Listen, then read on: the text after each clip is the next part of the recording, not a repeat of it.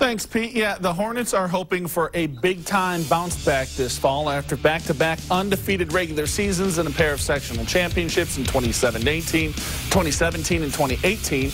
Angola slipped to 4 and 6 last season, but that team was young.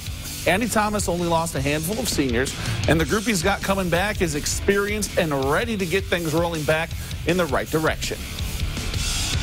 Uh, I think a lot of motivation. Uh, winning is just awesome. It, it feels good, and then learning off losses is also important. Last year, that was a lot. We learned a lot off of that, and then uh, just working. That's all we got to do. As I can sense that they're motivated, uh, they're trying to really uh, have a great energy and uh, trying to provide leadership in, in all aspects.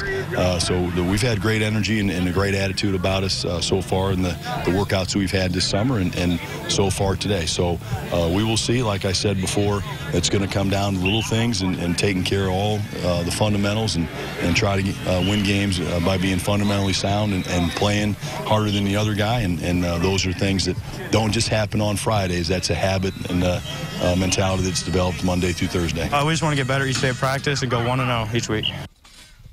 The Hornets will welcome DeKalb to the Hive for their season opener on August 21st.